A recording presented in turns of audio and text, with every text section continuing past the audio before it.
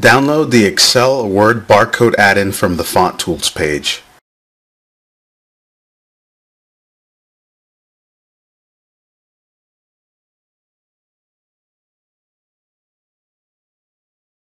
Once the file is downloaded, unzip it.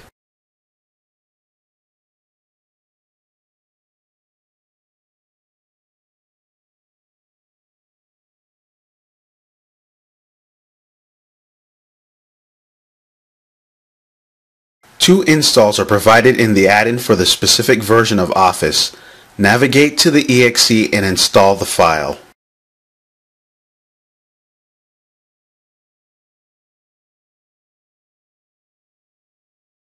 Download and install the ID Automation PDF 417 font package, demo or sale version.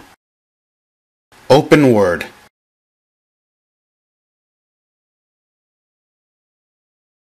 Let's create a barcode that will produce the tab character. First, to identify the character that will be entered to produce the tab, view the ASCII chart on the ID Automation website.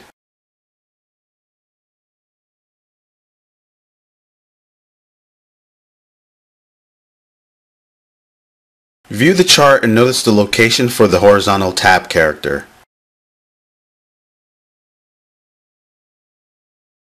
To encode a tab for PDF 417, a tilde must be entered, followed by 009 to represent the horizontal tab from the ASCII chart.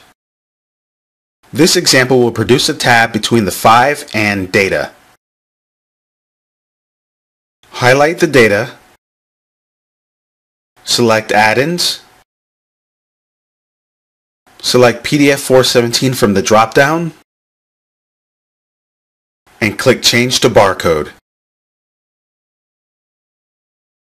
When this barcode is printed and scanned, a tab is produced between the 12345 and the word data.